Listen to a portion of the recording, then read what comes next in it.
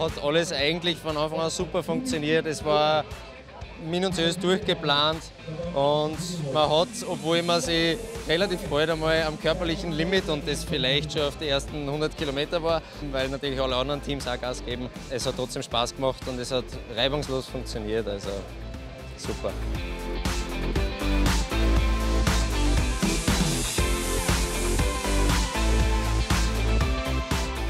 Also es war wirklich ein langer Kampf mit meiner Crew, weil es viele neue Leute sind. Und äh, jeder, der was, was schon mal in der Rift gemacht hat, immer äh, viele neue Leute hat und das ist immer chaotisch. Das war chaotisch, aber ist so gut ausgegangen.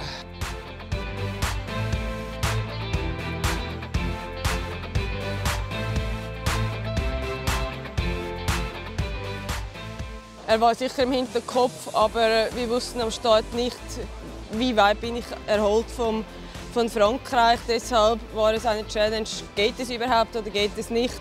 Und während dem Rennen haben wir selbstverständlich gemerkt, dass der Körper bereit ist, äh, den Rekord zu brechen.